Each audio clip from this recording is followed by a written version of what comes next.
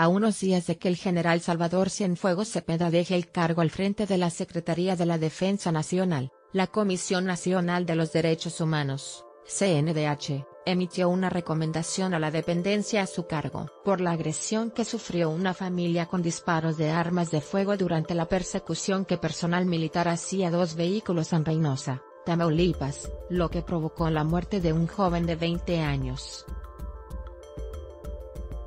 El organismo nacional acreditó las violaciones al derecho humano a la vida de la víctima, así como a la seguridad jurídica de su padre y hermana por el uso ilegítimo de la fuerza pública atribuible al personal militar perteneciente a la 8 barra zona militar.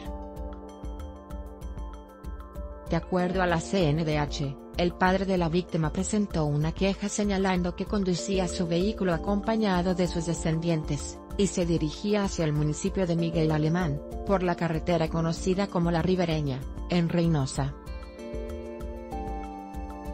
Cuando dos camionetas a exceso de velocidad los rebasaron, y personal de la Sedena que perseguía a dichos vehículos efectuó disparos hacia la camioneta que él conducía, por lo que detuvo su marcha y salió de la carretera. Ante tal situación, su hijo hizo señas para que los militares dejaran de disparar. Sin embargo, no se detuvieron, bajó del vehículo y recibió disparos, uno de ellos en la región lateral izquierda de la cabeza y cuello, privándolo de la vida. La hija reclamó al personal militar lo ocurrido, en respuesta le indicaron que las personas de las otras camionetas fueron las que dispararon y no el personal militar.